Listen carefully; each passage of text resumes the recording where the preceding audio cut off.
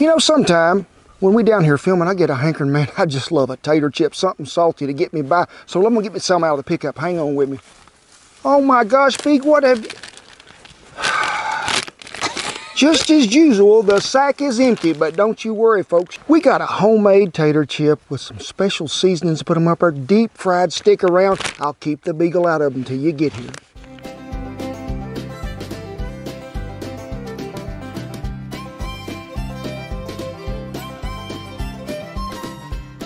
Hey, thank y'all for stopping by the river on a glorious day it is. And what? Happy New Year! We had a big party down. Y'all, y'all didn't get the invitation?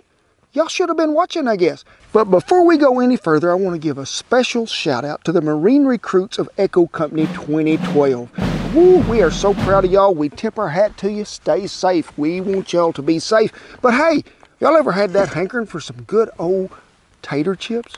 And every time you go to the bag, they either stale, they all got crumbs in them. But folks, this is the easiest recipe in the world, and they are so good, so tasty. Before we go any further in this, remember, anything that we use in this video and anything that I am wearing, such as this Ariat shirt and the boots, because I get a lot of questions from you folks asking, hey, where you get your hat, where you get your boots, where you get your shirt. Shannon will have you a little link down there to where you can find the same stuff I'm wearing. One thing you need to remember is we got to start with the right kind of potato. What kind is it? Anybody know out there? Audience is real thin today, Shannon. See them out there?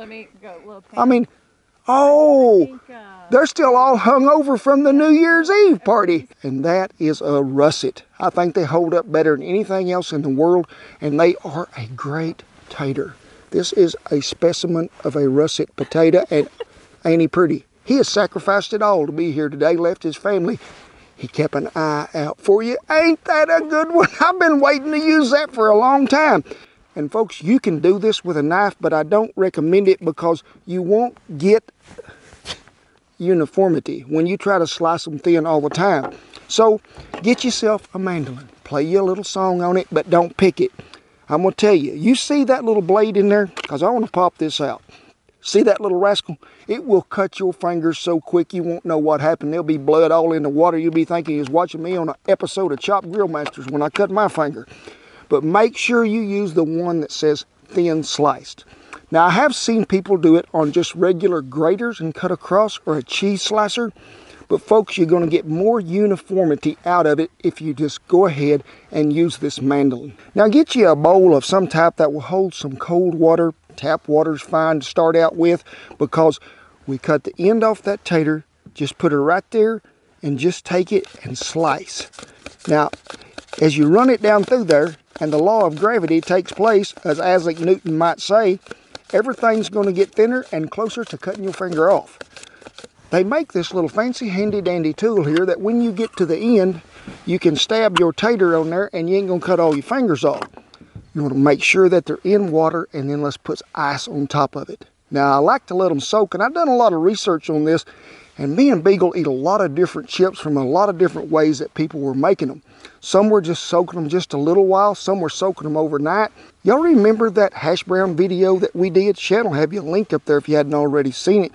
It is important to get the starch out. We got to rinse these taters. We got to let them soak, and that's what's taking place first. You want to make sure that everybody is separated to where we can get them all well soaked and cleaned and rinsed.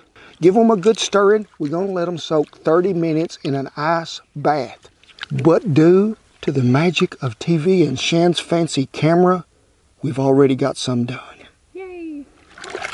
I'm giving this a good stirring in here. So we're going to take a few of these at a time. I would say a handful.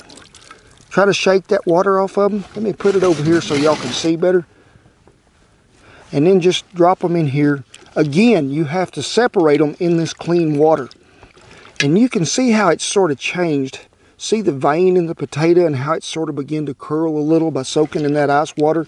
But looking from that pot to that pot, there is a big difference in the color of the water of them potatoes. The cleaner the water, the better it stays, the crisper them potato chips is going to be. Is that a word, crisper? Potato chips? Yeah, tater chips.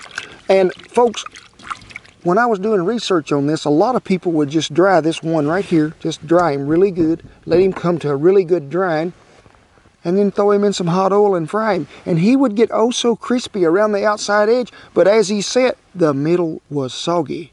So the cowboy gonna let you in on a cowboy trick that is gonna make them stay crispy all the way through. As you're rinsing this, if this water, and you can see that, that has got a little color to it, so guess what? I'm gonna pour this out and get just a tad more and we're gonna rinse them one more time because I want that water to stay good and clear. Well, this is my second rinsing and as you can tell, that there water looks pretty clean, it does. So I'm gonna call that a done deal. Now, if it ain't, don't be afraid to rinse them again. You ain't gonna hurt them. Got us about four to four and a half cups of water in this little pot and we're gonna bring it to a low simmer. Then we're gonna put us in about a tablespoon of white vinegar. That is going to help get that crispness too. Even if you're just frying potatoes at home and you want to keep them crisp, either use just a little bit of vinegar in the water that you got them soaking in or some lemon juice. It'll help them things crisp up even more. Pot is boiling.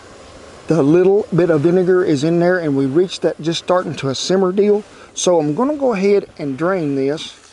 So get you about eight or 10 at a time and I don't want you to just throw them in there. I want you to lay them in there so they don't be sticking together. This is what we call blanching some taters. And as these begin to boil, we want to go about three to four minutes here. You can see how they begin to where you can nearly see through them already. I do like to give them a little stirring, but see how it's beginning to curl a little more than what is happening here. And then when they come out of here, which is time right now, you need to put them on a beagle towel. We got a beagle towel? Oh my gosh. So make sure you get them all out. We'll put the next batch in. Once you get that first bunch done, is that other one sitting over there blanching a little, make sure that you get them things dried and let's put them on another towel. Because folks, the drying out is a very important step because you can't be mixing cold, wet something with hot grease. That stuff will jump up, hit you in the face. Hey, if you ain't got one of the thermometers, is that how you say that, Shan? Thermometers? You better get you one because this is not your typical 350 degree frying.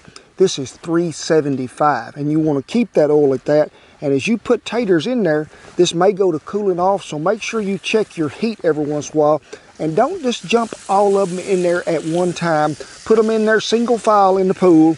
Probably going to take three to four minutes along in there. Check your temp every once in a while. Remember, we want to run about 375. We're using peanut oil today. You want a good high temp fry oil that you're using. So make sure that you get to stay up there in the right range. And we got about three to three and a half inches deep in this Finex Dutch oven. You can do this in a flat cast iron skillet at home if you want to, but you just can't fry very many at a time.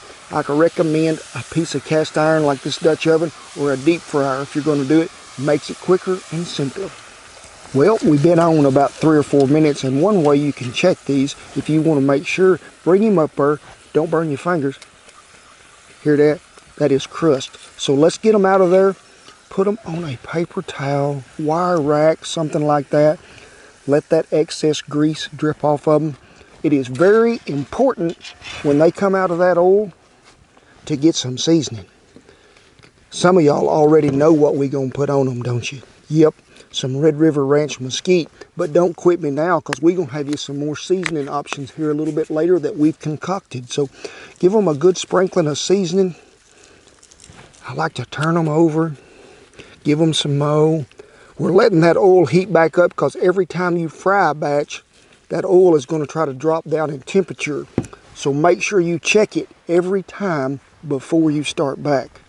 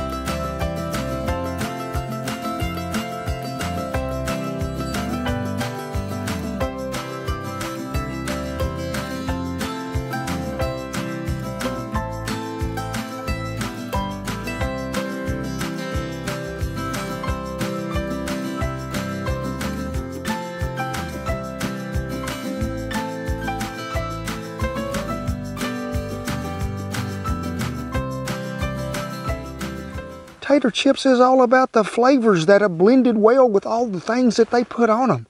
Hey, what have we got here? Just a regular old ranch packet with a little more onion salt on there. What is this one? Ooh, I can't remember, Shan. It's chili? That's the chili powder. That is the chili powder with a little smoked paprika and everything else.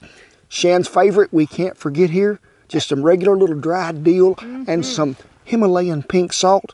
And what do we got here? Onion powder and a little garlic. Mm, it is so good. Now, folks, if you need to be having all these recipes for these different blends of seasoning, they be listed down there below in the little description where it says click for printable recipe. But some of you saying, hey, I'll be watching it on smart TV. My TV's not that smart. I can't do that. But if you can't see it on there, just get on your little computer, type in www.kentrollins.com slash the blog. It'll take you over. All the recipes are there. I want to hear a crunch. I'm going to start with my favorite, which is the mesquite seasoning. Oh. My Yes. gosh. And I forgot to tell you, leave that peeling on there. All them nutrients is in there, and it keeps that tater in better shape.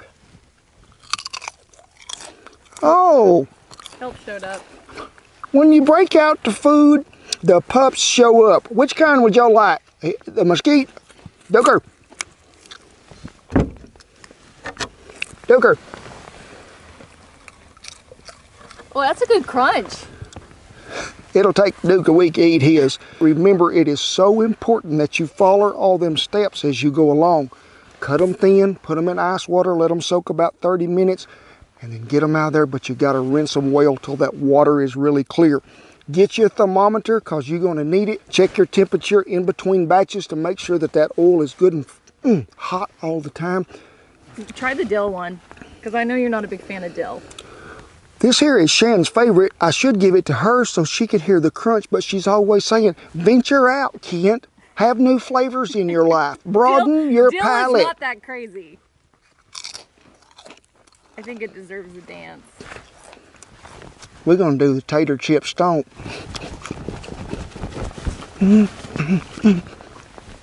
Namaste. Well, let her rip tater chip. That is a done deal, and whew, they are good. They are. And we want to thank all of y'all, new viewers, ones that have been with us a long time. Our first episode of 2020. And folks, it is going to be a grand year because remember what happens this year, March 17th? Brand new cookbook comes out. Faith, family, and the feast is what it's about. We tip our hat to all our servicemen and women and veterans and all the people who keep our communities safe, whether it be in our hometown or abroad. We tip our hat to you and God bless you, each and every one. But folks, hey, it's a great day it is. I'm so glad y'all took time out of your busy day, me and Shan are, that you could stop by and watch our videos. God bless you each and every one. Thank you so much for watching. I'll see you down the Letter Rip Tater Chip Trail.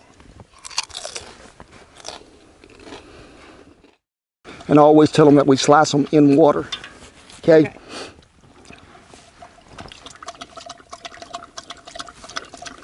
Are you in the potato water? Hey, Dooker, I was going to use that water.